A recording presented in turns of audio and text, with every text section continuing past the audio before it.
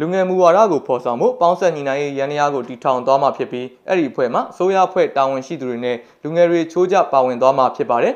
လူငယ်မူဝါဒကိုကောင်းတယ်ပေါ်ဖို့အဲ့ဒီရန်ရာကိုမကြခင်ချိန်တွင်းမှာဖွဲ့စည်းသွားမှာဖြစ်ပြီးမဟာဗျူဟာချမှတ်ရေးကိစ္စတွေကိုတော့လာမယ့်6လတာတွင်းမှာအပိသက်ရေးဆွဲနိုင်ဖို့လှုံ့ဆော်သွားမှာပါကျွန်တော်တို့ဒီလူငယ်ရမူဝါဒမှာပေါ့ရည်ရွယ်ချက်15ချက်နဲ့ဟိုအခန်းကဏ္ဍ16ခုနဲ့ကျွန်တော်တို့ ရေးဆွဲထားရပါတယ်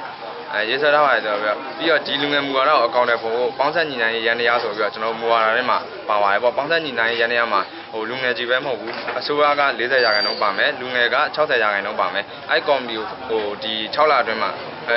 6 6လအတွင်းကတော့ဒီမဟာဗျူဟာရေးဆွဲမှာပေါ့ဒီဒီဖေဖော်ဝါရီလအကုန်မှာအပြီးဖွဲ့စည်းမယ်ပေါ့ဖွဲ့စည်းပြီးတော့ဒီလူငယ်မူဝါဒကိုအကောင့်တွေပုံဖို့မဟာဗျူဟာရေးဆွဲလုပ်ငန်းစဉ်တွေကိုဒီ ကော်မတီကကော်မတီဖွဲ့ပြီးတဲ့အချိန်မှာစတင်မယ်ပေါ့အဲ့လို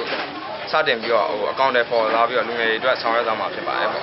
လူငယ်မူဝါဒရေးဆွဲရေးဖြစ်စဉ်တွေနဲ့အကောင့်ထဲပေါ်မဲ့ဖြစ်စဉ်တွေမှာလူငယ်ဖွဲ့စည်းတွေပုံမှုပါဝင်လာစေဖို့ကြိုးစားနေရတာဖြစ်ပါတယ်လူငယ်နဲ့သက်ဆိုင်တဲ့ကိစ္စရပ်တွေမှာနင်းစိတ်ကွဲပြားတဲ့လူငယ်တွေနဲ့မတန်ဆွမ်းလူငယ်တွေပါဝင်မှုနှုံးမှလည်းနှဲပါနေသေးပြီးသူတို့အတွက်ထောက်ပံ့မှုတွေပုံမှုလိုအပ်နေတာဖြစ်ပါတယ်ကျွန်တော်မြန်မာနိုင်ငံမှာကျွန်တော်ဒီ မျိုးသမီးတွေ LGBT တွေတန်ဆွမ်းနေဆိုတော့ဒီတန်ချန်ချန်ထားခဲ့ခိုင်နေရပါတော့ကျွန်တော်အဓိကကတော့ဒီ budget ဘိုင်းဆိုင်ရာပေါ့နော်ဝေးကြီးဆိုင်ရာတွေကျွန်တော်တန်ဆွမ်းသူတွေအတွက်ဒီဒီလိုမျိုးအသုံးပြု